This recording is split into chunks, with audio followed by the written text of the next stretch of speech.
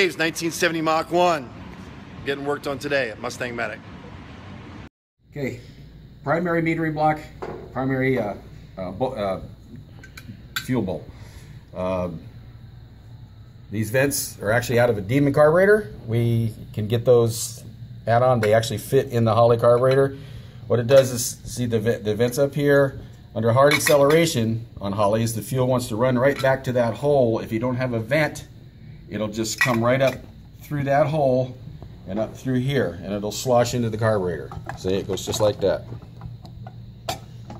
And it keeps the fuel from popping up here and getting all over the place and going down the carburetor and making it run like doo-doo. Have a nice day. Metering blocks uh, right there.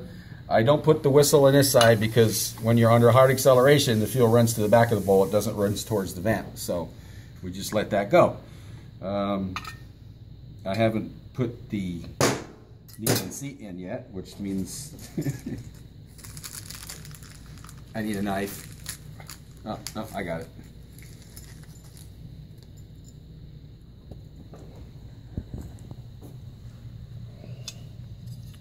Needle and seat.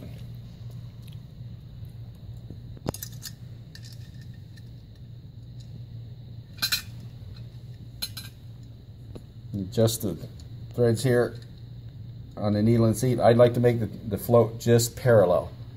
Just so it's like, just like that. I'll put this, the, the tightening screw on later. Uh, bowl, that, I mean, metering block.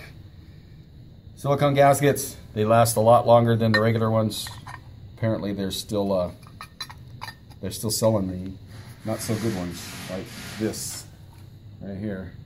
These black ones, you can only use them once. These you can reuse.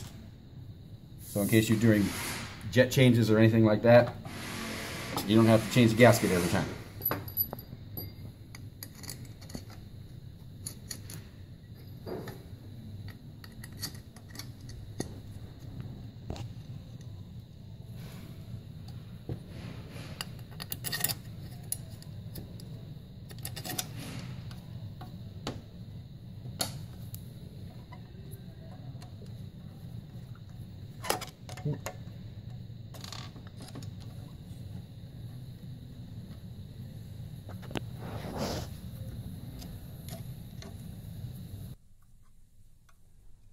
And that's one on.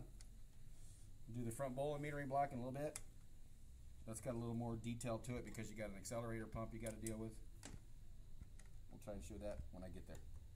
There you go.